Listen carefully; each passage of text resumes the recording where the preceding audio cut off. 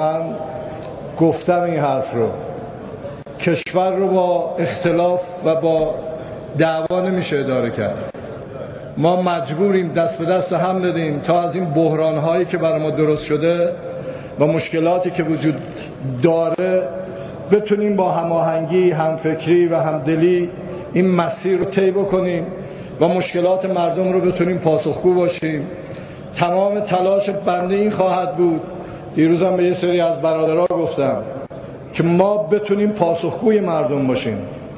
مردم ما هستیم تا مشکل مردم رو حل کنیم. ما هستیم که در حقیقت گرفتاری های اونها رو رفع کنیم. نیومدیم که حالا فرصتی شده مردم به ما اعتماد کردن. مسئول شدیم. تصور کنم حالا من کسی شدم.